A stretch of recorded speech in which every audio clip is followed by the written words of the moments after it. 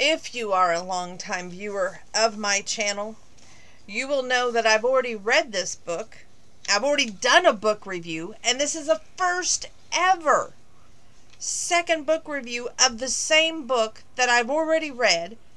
I have not went back and rewatched the video. I said I was going to. I, I started to and I stopped because I was like, you know what? I don't want to hear myself speak on the same issue just make notes as if it was a new experience this time going forward and that's exactly what I did. There was so many moments in this book by Sara Richardson Hometown Cowboy that I wanted to share that I did share during the first book review. I know I did.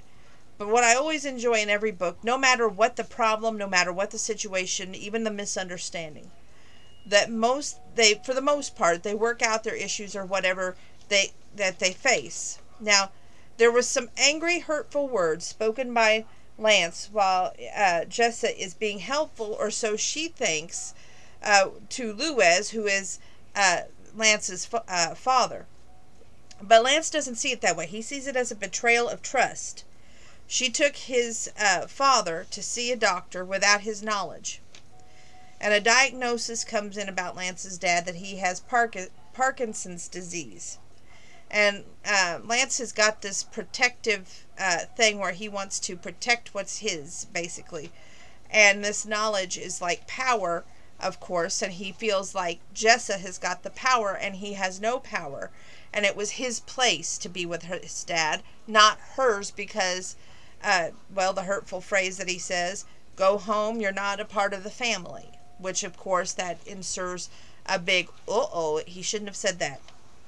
Uh, what I enjoyed experiencing throughout this process was the feelings where Lance talks with his brothers and his dad about Jessa, comes up with a plan to win her back, which I was like going, okay, we all know that that normally never happens in real life.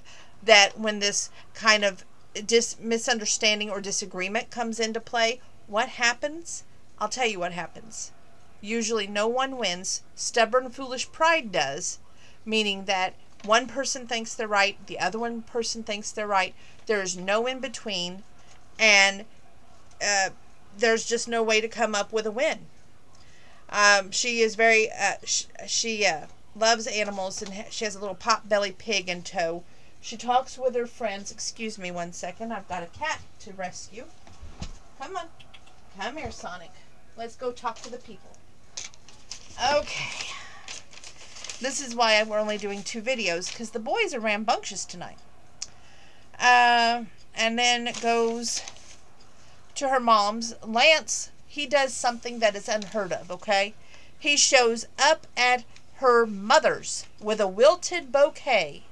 He apologizes, and I won't share the rest with you.